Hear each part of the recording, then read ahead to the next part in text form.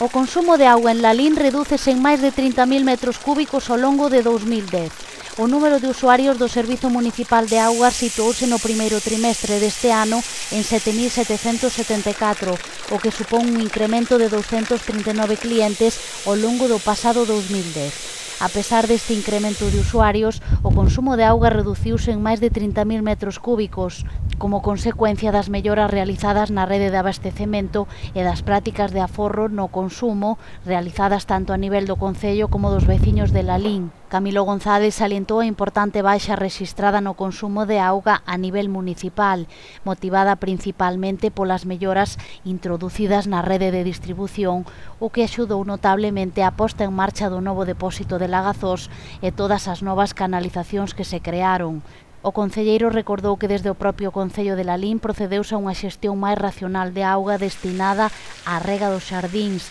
así como a colaboración dos veciños ás demandas municipais para levar a cabo un consumo responsable de auga.